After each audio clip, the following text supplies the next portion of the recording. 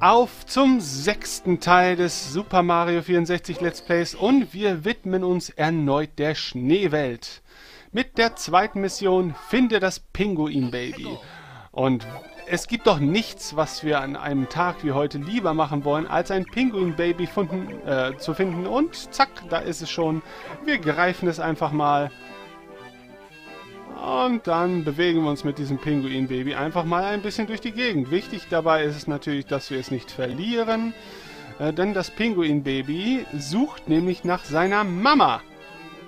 Das hat es uns zwar nicht wirklich mitgeteilt, aber ich weiß es trotzdem. So, jetzt rutschen wir hier ein bisschen lang.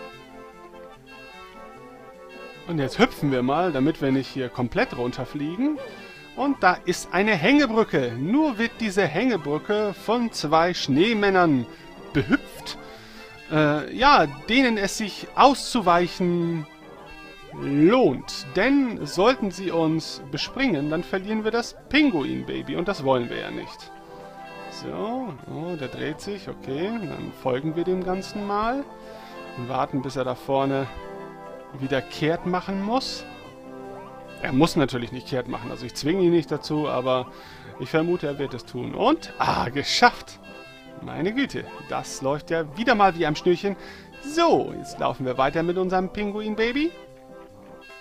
Und rutschen jetzt garantiert wieder. Jupp, da wird gerutscht und da ist so ein Blumenflatter-Ding. Das wollen wir jetzt lieber nicht von näheren betrachten. hört ihr? Hört mal, da ist die Mama. Ja, hallo, guck nur, was ich hier habe. Was ist doch? Mensch, Mario, du hast mein Baby gefunden. Wie kann ich dir dafür danken? Gar nicht, denn ich habe bereits das äh, Jugendamt informiert. Du hast deine Aufsichtspflicht verletzt, du dummer Pinguin.